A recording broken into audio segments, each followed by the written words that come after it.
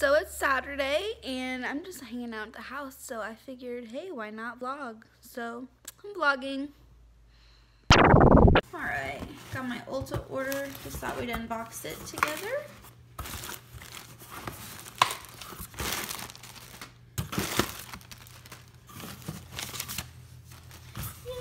Yay! So this is the Too Faced Better Than Sex mascara. I'm so happy to have this in my collection again. Uh, some lashes here. These are really pretty. The Ardell 162s. Excited to try these out. Got another pair of lashes. I'm really pumped to try these. These are the 600s. Pretty. Oh, this is just a sample of stuff. I don't even know. What are you? Styling cream. Some moisturizer, it looks like. And then, last but not least, the Living Proof Dry Shampoo. It's a little bit smaller than I expected. So I got it out of this package. A little bit smaller than I expected. It's four ounces kind of just so that you can see it. And that is everything. I love ordering products from MAC because they do the back to MAC thing where you can take your empty containers and once you have six of them you can get um, either a free like lip gloss or a lipstick or an eyeshadow I believe and so it makes me feel good that it's getting recycled and it's kind of incentive to get more product so I wanted to get this kind of lip liner because then you can take the packaging, the empty packaging back when you're done. Okay, so this is the product and then swatched, the focus, just a red lip liner. Hey, my box from Vera Bradley came in, so pumped. I ordered a new bag for my work stuff. Are You excited, Daisy? We're so excited. Okay. Oh, I can tell this is already going to be so cute.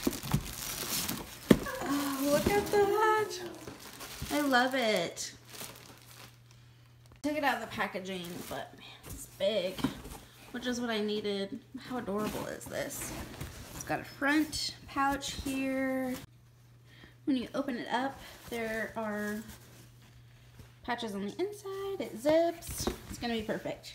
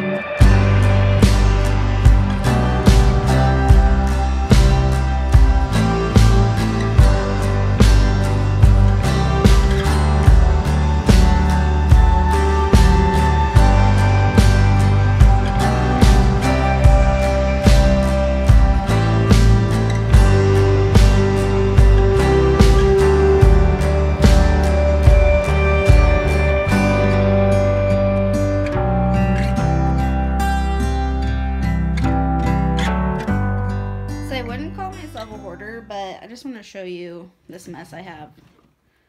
Like this is just, let me explain though. So I decided a while back I want to keep like, in, like packaging of makeup and stuff to do a craft project. But this is just a hot mess, so I think I'm going to kind of clean it up and see what I have.